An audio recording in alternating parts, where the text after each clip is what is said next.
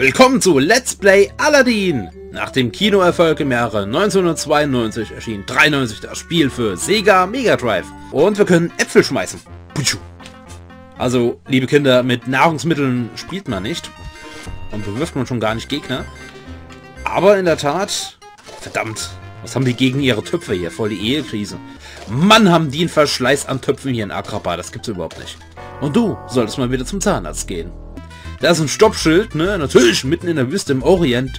Damals vor 1000 Jahren steht ein Stoppschild in der Wüste. Na du? Und hier haben wir auch äh, äh, Gästetoiletten. Natürlich Zelte mit einem Männchen und mit einem Weibchen drauf. Doch das wäre gelacht. Komm vorbei, sei bereit für eine arabische Nacht.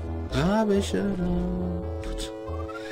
Arabische Nächte und die Tage da da da da sind wie jeder weiß viel heißer als Eis. Arabische Nacht. Das doch das wäre gelacht.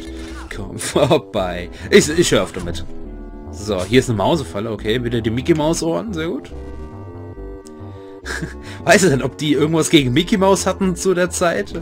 Weil, weil überall Mickey Mouse ja nicht in den Dreck gezogen wird, parodiert wird, ist ja auch von Disney selbst. Und einfach immer sofort draufhämmern mit dem Messer. Äh, mit dem Messer, ja, mit dem Schwert. Mit einem Küchenmesser da. Der hat ein Küchenmesser, der hat so als Schweif, als Schwanz so oder? Sehe ich das? Also ich weiß nicht, ob ihr als Kind irgendwie Albträume hattet von, keine Ahnung, schwarzer Mann. Was weiß ich. Äh, ich habe von diesen Kugeln hier geträumt, von diesen Felsen. Also ernsthaft, das hat mich verfolgt in meinen Träumen.